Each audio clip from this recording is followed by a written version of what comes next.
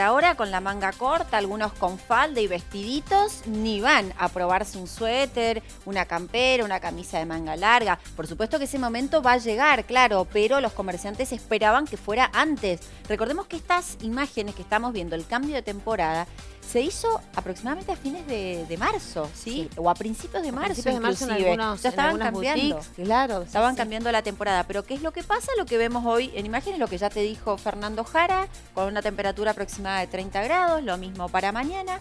Por lo tanto, bueno, más veranito y poca ropa de invierno. Nosotros hablamos con los comerciantes, ¿cómo están viviendo eh, esta situación ¿no? inusual porque hace 53 años que no teníamos un otoño tan cálido como el que estamos viviendo.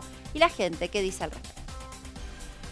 Tenemos ya eh, la temporada nueva y bueno, con estos calores no, no acompaña y bueno, la situación también está muy complicada, así que estamos complicados. Tenemos eh, unos costos bastante altos y no hay consumo, ha bajado muchísimo el consumo.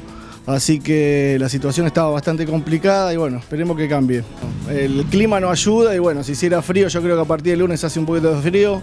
Así que espero que la gente salga a comprar ropa nueva. Hemos traído la nueva temporada, pero la gente no, no compra, no está, o sea, como que no, se, no le compra lana todavía por el tema de que las altas temperaturas están, están cada vez peor. Inusual para la época porque no, no, hace mucho calor, entonces la gente generalmente tenemos todo lo de la nueva temporada exhibido, pero no, no, hay venta. O sea, 30 grados cuesta ponerse o probarse un suéter de, lana. Claro, igual que en invierno la gente no, no se prueba cosas porque hace frío, ¿entendés? Entonces se las prueba por encimita así nomás.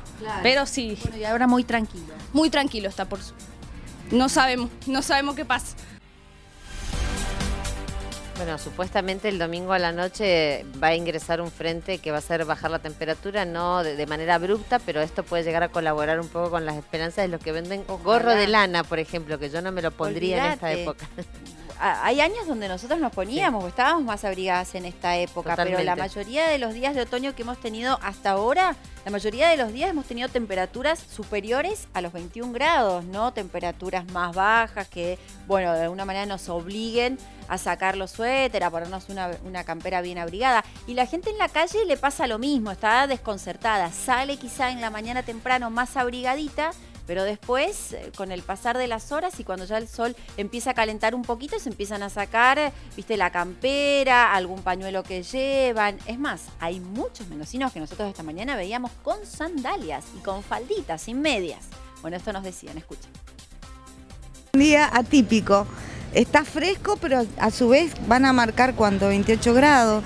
Así que no sabemos, saco, sandalia, guardamos botas, sacamos botas, realmente increíble. Está bastante pesado, pero bueno, hay que salir nomás. Increíble que en esta, en esta fecha todavía tengamos estos calores. ayer, ayer hicimos cambios, pero siempre guardando alguna remerita por las dudas y también abrigo. Es un veranito que insólito.